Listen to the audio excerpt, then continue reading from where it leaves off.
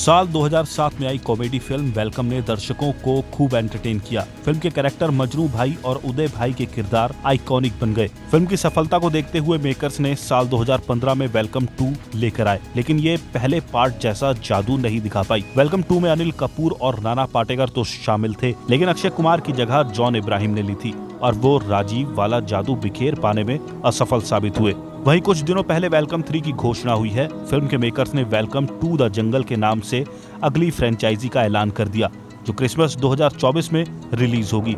इस बार फ़िल्म में अक्षय कुमार भी शामिल होंगे, लेकिन नाना पाटेकर और अनिल कपूर नज़र नहीं आएँगे।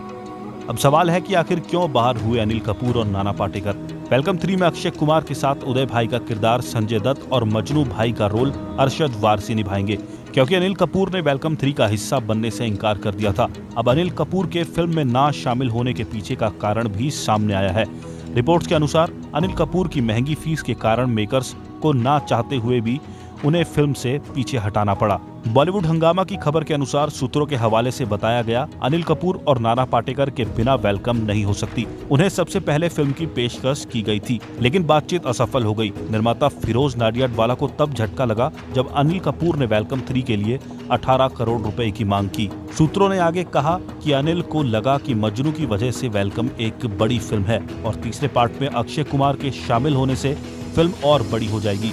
उन्हें लगा वो जो पैसे मांग रहे हैं, वो उसके हकदार हैं, क्योंकि तीसरा पार्ट भारत में 300 करोड़ रुपए का बिज़नेस करेगी। उन्होंने अपनी बात रखने की कोशिश की, लेकिन जब लेकिन जब फिरोज ने इनकार कर दिया तो अपनी मर्ज़ी से फ़िल्म से बाहर हो गए। अक्षय ने भी हस्तक्षेप करने और अनिल को वापस लाने की कोशिश की, लेकिन अनिल 18 करोड़ रुपए की फ़ीस वाली अपनी बात पर अड़े रहे। बॉलीवुड से जुड़ी ऐसी ही अपडेट्स पाते रहने के लिए हमारे चैनल बॉलीवुड कल्ट को सब्सक्राइब करें। वीडियो को अंत तक देखने के लिए आप सभी का दिल से धन्यवाद।